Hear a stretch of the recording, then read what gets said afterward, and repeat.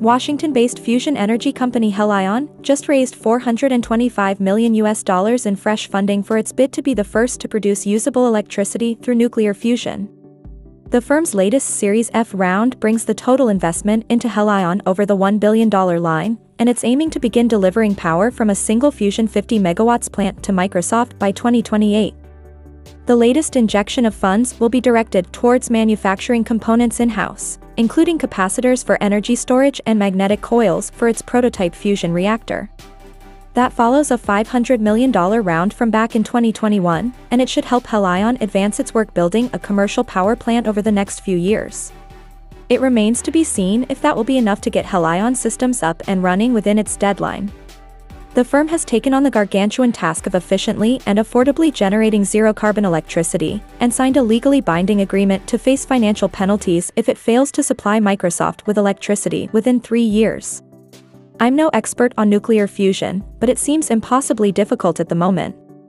What's challenging is generating energy gain, power output tends to be far lower than the inputs required to heat and smash deuterium and helium-3 atoms together at an incredibly high temperature of 100 million degrees Celsius using magnets.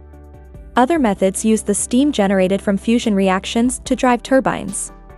In Helion's field-reversed configuration reactor, a surge in magnetic force pushes back on the magnetic field from the system's magnets, and that additional force is recaptured in the form of electricity.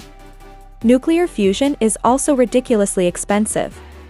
For reference, the ITER, International Thermonuclear Experimental Reactor, project in France broke ground in 2007 and is expected to run up a bill of $22 billion by the time it goes live in 2034. Plus, helium-3, which is used as a fuel in the reaction, is awfully hard to come by on Earth, to the point that it could be more economical to capture it from the moon. While Helion has managed to hit the required fuel temperature of 100 million degrees Celsius with its previous prototype reactor, we don't yet know what results it's been able to achieve with its latest one. The company hasn't specified whether Polaris, its seventh fusion device, which took three years to build in a 27,000 square foot facility, is capable of firing 60 pulses per second in a sustained manner to generate usable electricity yet.